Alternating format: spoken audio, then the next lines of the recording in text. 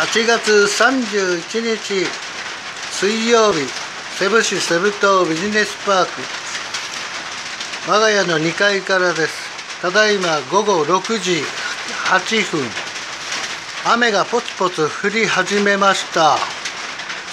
日中いろんなね入道雲が出てたんですけどやっぱり降りましたね。降ってきましたねポツポツ。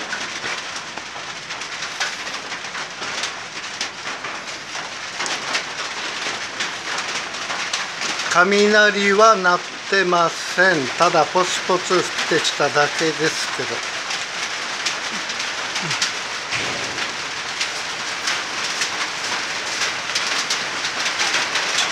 多分降ってきますよざーっとね。